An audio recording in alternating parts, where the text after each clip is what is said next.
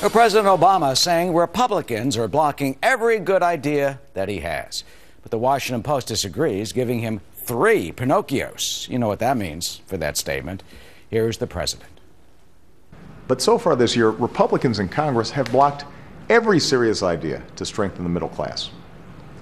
Lifting the minimum wage, fair pay, student loan reform, they've said no to all of it.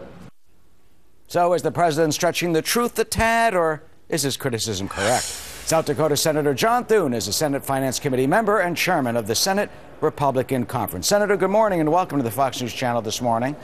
Good morning, Eric. Always nice to be Good to you. see you, sir. When you hear the president say that, you know, so it's you guys. It's your fault. You're, you're blocking everything he's trying to do.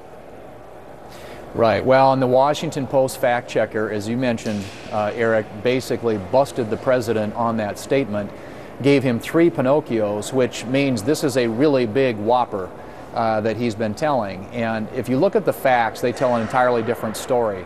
There are 284 bills that have passed the House of Representatives that have been sent to the Senate. 40 of those bills are jobs bills.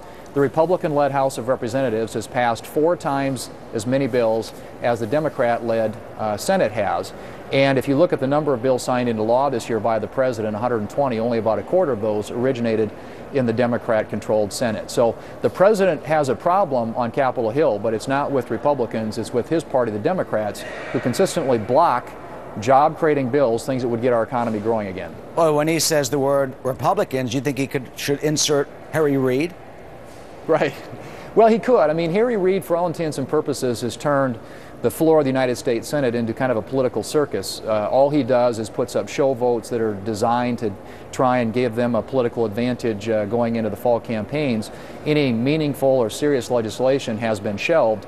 And, and, and what he's doing in terms of uh, blocking amendments, you know, in the last year, since July, this time a year ago, there have only been 11 amendments voted on on the floor of the United States Senate that have been offered by Republicans. That's less than one a month in the world's greatest deliberative body.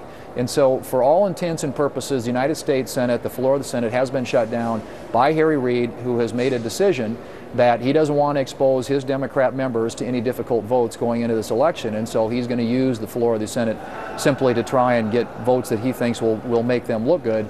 And in anything serious, including appropriation bills, we haven't moved a single appropriation bill through the United States Senate this year. Those things have all kind of been put on the back burner. And that's unfortunate because the American people uh, deserve to have their voices heard in the process. And when you can't even get amendments considered and voted on, uh, that simply doesn't happen. You know, Senator, you mentioned the world's greatest deliberative body. I mean, what happened to the Senate giants, Everett Dirksen, Daniel Patrick Moynihan, those, Jake Javits, those who would, on all sides of the aisle, would get down, sit together, and get something done? Well, that, there was a day when that was the case, but it certainly isn't true today. And, you know, if you take the way that Senator Reid is running the Senate, um, it's really unprecedented. He has a procedure called filling the amendment tree, which is the procedure he uses to block amendments from being considered to bills that are brought on the floor of the United States Senate. And he's used that procedure, I think, 89 times, uh, and, and that's more than twice all the previous uh, floor leaders combined.